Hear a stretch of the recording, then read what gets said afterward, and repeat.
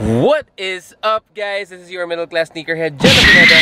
Welcome back to another episode of the vlog. Today's video is going to be a sort of shopping vlog and then we're gonna go back si, sa apartment at papakita ko lahat ng mga uh, nabili natin. So yung last video or a couple of videos ago, nagpunta ako dito sa Marky Mall and I'm here back again. Ito siya, Marky, Marky Mall. Eh kasi nung pupunta ako last time dito, wala akong dalang pera dahil nga nagbayad ako ng insurance. So this time meron akong dalang konting budget eh tignan natin kung available ba yung mga nakita kong available na mura that time na nagpunta ako dito. Pero of course, advance happy Father's Day. So I do think na meron mga ano dito, meron mga naka-sale sa mga shops dito dahil sa upcoming Father's Day sale. And speaking of Father's Day sale, meron tayong sale sa AP Exclusive. This is 500 pesos off sa lahat ng mga sneakers available. If you haven't seen that video, I'll link it on top of the screen. What is AP Exclusive? AP Exclusive is my Instagram selling page and I sell mostly sneakers.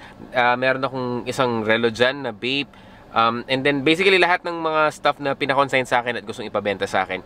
At lalagay ko lahat dyan. Mag-add pa ako ng mga items ko dyan uh, personally. And of course kasama natin ng mami ko at ang ate ko. Gusto kong dalhin yung camera para legit sana. Kaso baka mabawalan na naman tayo. At ayaw mo na ma-hassle ngayon dito sa sa ano dito sa marking mag. So, sit back, relax, and let's do some kakain muna kami tapos tsaka tayo mag-iikot at tingnan natin kung ano mabibili natin na naka-sale right now. Let's do this!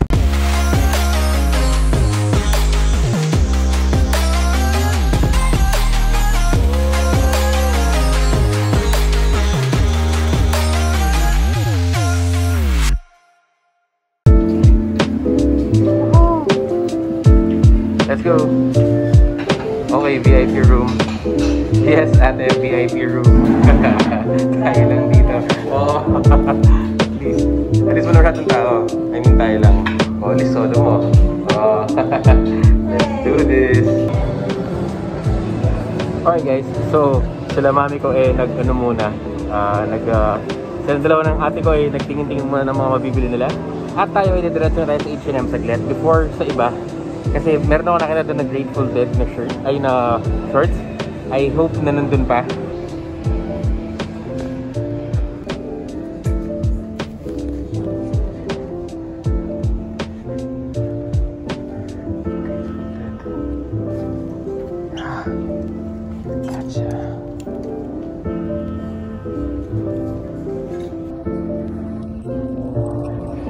Was supposed to get this shorts kaso masyado siyang loud para sa akin. Nope. Too loud. Alright guys. Let's set up New Balance. Hindi kong balikan.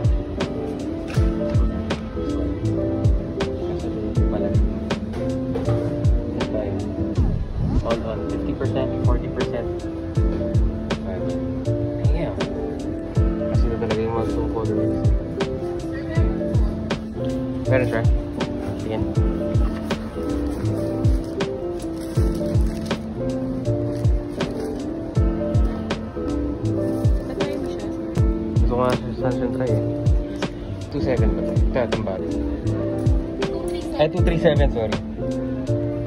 Hindi naka-discount mga to. Yo, so yun nga. Uh, so di pa tayo tapos kasi may kailangan tayong tignan. So di pa tayo ng SM Talabastagan. Kasi may nabalitaan ako sa Uniqlo. Meron doon na-release na MoMA. Museum of Modern Art na ano na uh, shirts. Eh tignan natin kung meron kung totoo nga talaga. But for now, guys, right, so we've got them. Woo! Alright. So Starbucks date. Grabe, nakasama rin sila mami. And si ate ko. Then after which guys, we're gonna hit up on Uniqlo. Yung MoMA na sinasabi ko. Museum of Modern Art. Check natin kung may available pieces. And then, uh, yun, no? Giselfie na si ate. Wait. Oop. Where are you?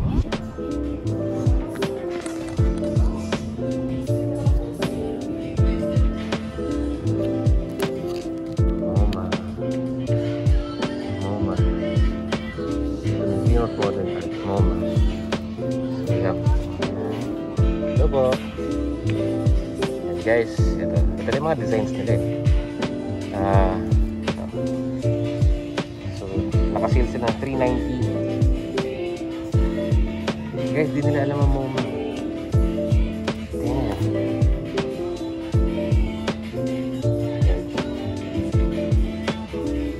So, kuha tayo nito mga to.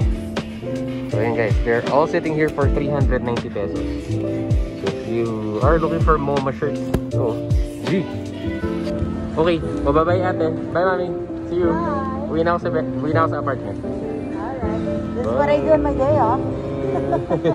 Thank you. Bye, bye, bye. Okay. Uwi na tayo. Alright guys, so welcome back. Welcome back to the apartment, to the studio. And uh, we're actually currently uploading a video right now on a, on uh, the channel. So ito yung uh, bagsak, bagsakan na ang presyo, yun yung title niya. So this one basically is yung sale video natin ng mga items na available on AP Exclusive. Now, if you haven't seen that video, link ko sa taas, pakita ko sa'yo. Meron tayong ongoing na 500 peso discount sa lahat ng mga sneakers natin or most ng sneakers natin sa AP Exclusive. So, nanggaling tayo ng Marky Mall. Siyempre, na-miss ko rin yung family ko, na-miss ko yung nanay ko, na-miss ko yung ate ko. So, ayun, we hanged around for almost the whole day. So, yun nga. Ah, pumunta tayo ng Marky Mall. Chinek natin yung mga available items doon. Pero not all. Yung mga kasi syempre nagmamadali din. So yung mga alam ko lang na gusto kong puntahan eh, pinuntahan ko kagad. So let's go ahead and hit up on H&M first. So, eto. So pakita ko muna yung binili natin sa H&M. As you saw earlier, meron tayong mga ano, we had some good ano dun kanina. Kaso I was only in the mood to buy a pair of shorts, no? Eto siya. This one is a pair of shorts. This one is a uh, Grateful Dead, no? I was surprised kasi meron pa mga natitirang sizes. Pero small sizes na lang. Small, uh, and extra small. This one is a medium. So I'm I wear at least uh, 33, 32, 33 na pants. So medium works best for me. Ngayon hindi lang siya yung tipong shorts na yung usual parang essential shorts na maikli tapos boxy type. Hindi siya ganoon eh, medyo mahaba-haba siya. Sweat shorts, no? So makita mo dyan yung tag or makita mo yung Grateful Dead na logo dito sa may ano, sa may uh, left side. Ayan, Grateful Dead. And then makita mo yung apat na bears, no? Makita mo yung iba't ibang kulay ng bears. If you know, you know what Grateful Dead is.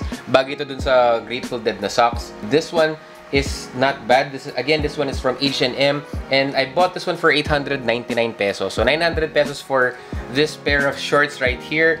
And meron pang mga natira doon, konti na lang. Okay, so alam ko sa Marky Mall eh ano, sa, eh may kinuha na tayo kanina pero bago natin i-unbox yung sneaker na yon, eh pumunta tayo sa uh, pumunta tayo sa Uniqlo. Ngayon dito kasi sa Uniqlo, nabalitaan ko kasi na meron silang Museum of Modern Art. Yan, MoMA. ba? Parang yung off-white natin, Air Force One MoMA. May nagre-release sila ng mga shirts from MoMA. So pumunta tayong Uniqlo and we check on the available items na meron doon. Alright, so ito siya. Uniqlo is the shirt natin sa hindi MoMA, no? Kasi may nakita ako na hindi siya MoMA. Pero gusto ko talaga siya. Uh, and kumuha na ako ng mga XL para medyo loose na sila. Kasi habang nilalaban, lumilit. Yung mga Costco na t-shirt, kahit sobrang ingat na ingat ako dun, eh kakalaba, medyo lumiit sila. So, that's fine. So, this one, this one is not MoMA, no? Iba to. Ibang version to. This one is a, the National Art Center Tokyo. Uh, Kashiwa Sato UT. Ayan, ang ganda kasi niya, it's white, tas ang ganda ng design niya. So, it's just plain. Alam mo na mga pampresko days natin, eh, ito lang yung mga sinusuot natin talaga.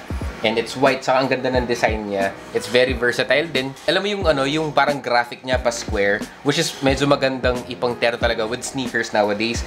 Kaya I decided to go with this shirt right here. And as we all know, maganda ang tela talaga ng Uniqlo. So this one is was only on sale for 390 pesos. That's why I decided to grab it. Now, So, eto, lipat na tayo sa mga uh, museum MoMA natin. So, I grabbed three pieces, no? Three pieces lang kasi ito lang yung mga may XL. Yung isa, wala na XL, so sayang.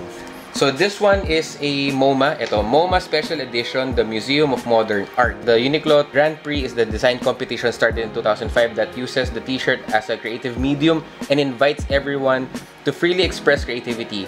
For the 15th UTGP in 2020, Uniqlo worked with the Museum of Modern Art in New York City, t-shirts based on the theme Draw Your World. Ito ang kanyang design. Actually, nagustuhan ko siya dahil letter A. And of course, if you know, you know, pangalan natin is Angelo and Alfonso. It's just a black shirt. Tapos, ang ganda nung pagkaka...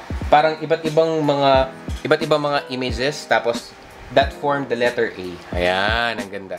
And of course, we all know na presko yung mga shirts nila. Like, hindi sila ganun ka loose fitting talaga. Hindi sila yung like drop shoulder like the usual na hinahanap natin na oversized. But these guys will work. Especially, uh, alam naman natin yung weather dito. Sala sa init, sala sa lamig eh, diba? So, kumbaga, these guys will work. So, I picked up this one. This one is another MoMA shirt.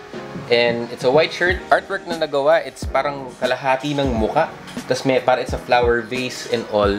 Very subtle lang siya. Sobrang presko nakikita. Only selling the whole line. Ah. The whole line is selling for 390 pesos. Alright, and of course, last shirt from Uniqlo.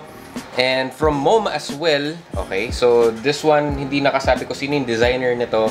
So it is a black shirt na meron siyang parang ano, naka uh, astronaut suit na maraming mga stereo, cassette tape. Ganda ng print niya uh, pink and purple. So, ang ganda ng vibe niya. Just wearing all black shirt. All black, uh, black top, and then black na jogger pants, I guess. Or, uh, or shorts. At guys, ang dami pang natitira doon sa Uniqlo. So, I would really suggest if you are, you know, looking for Uniqlo tees, go ahead and grab it uh, habang marami pa.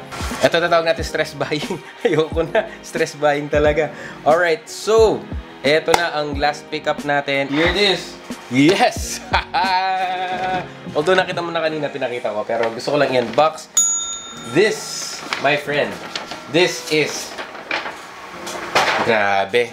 Grabe. Sabi ko, di na ako bibili ng New Balance but hindi ako makatiis kasi aside from it's the most comfortable at gagawa ko to na review. It's the most comfortable sneaker in my opinion. Yung 997 blew my mind. Sobrang comfy niya. All over na hindi super squishy pero walang foot fatigue. Mas lalo itong sneaker na to. So, what we have right here is a New Balance sneaker. As you can see here, it's made in USA. Ito yung made in USA series. So, these guys retail for about 13,000 pesos or 12,995. So, close to 13,000 pesos. But these guys were sitting and these are on sale for 50% off. Bell natin yan. 50% off. 50% off for the most comfortable all-day, all-season sneaker, which is a New Balance 990. And wala siyang, di nakasulat yung official colorway niya dito. Meron lang siyang uh, parang tag or code, which kapag sinearch mo naman sa Google, makikita mo yung official colorway niya. So, and this one is called the Navy Gray. Ayan, Navy Gray colorway ng New Balance 990 V5. And let's go ahead and pop the guy open. Uh, here they are. Sobrang excited ko kasi first, uh, ano ko to, first uh, 990. I mean, nagkaroon tayo 990, yung nahanap natin sa thrift, yung V4 na binenta na natin. Na hindi ko size. Pero this one, I got a true size 10 and here they are, man. Look at that. Ang ganda.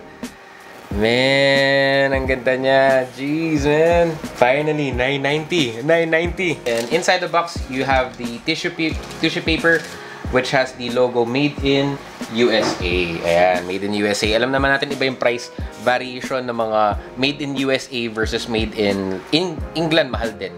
Uh, and then meron tayong iba which are made in different countries. Pero itong mga to, 100%, kaya medyo mas mahal sila. They are they are on the tier price kasi they are made in the US. So again, this is the New Balance 990 V5, one of the most comfortable sneakers. I will do a, a review, talagang literal na review on these sneakers and how good are the New Balance 990 V5. Plain and simple. Um, and the official colorway, na uh, navy and gray. Actually, nung una, nung una ko to nakita, akala ko this one is black. Yun pala, it's navy blue. Uh, which is fine kasi ako, I tend to wear sneakers with no-show socks.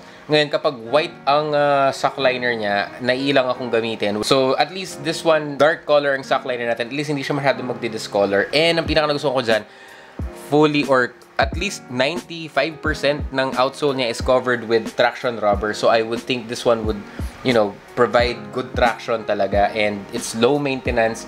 Ngayon, the only, syempre, we all know with New Balance, they have super premium materials, no? So we have suede, as in super buttery suede here on the side, on the panels, on the toe box. Kapag maselan ang uh, materials, eh, mas lalo natin iniingatan yung sneaker, no? Um, and of course, di mo na maiwasan yon The moment that you use these guys, syempre, it, it will attract dirt. So, it is what it is, no? Ang pinaka nagustuhan ko kasi dito, guys, hindi sila yung tipong hype sneaker na they're hard to find. You can basically walk into stores and find these guys sitting. So, alam mo, that's something na, it's a plus, no? It's a plus for most of sneakerheads that are just looking for a whole day comfortable sneaker dahil malapit na nga naman ang, uh, ang Father's Day. So, the ultimate dad shoe for me is the New Balance 990 V5.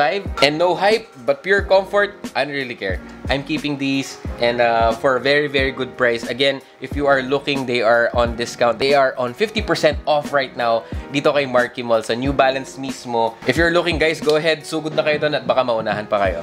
Alright guys, so there you have it. Yun ang ating mga recent pickups. Yun ang ating shopping haul for for this week. It's been a stressful week and uh, with stress, syempre, wala, kan, wala tayong magagawa. Di naman tayo makakapag out of town. Di naman tayo makakapag alam mo yun, meet up with friends. Di naman tayo talaga like in usual. So, instead na ano, kung merong extra budget to buy whatever to make you happy, go ahead and go for it. At the end of the day, it's your money.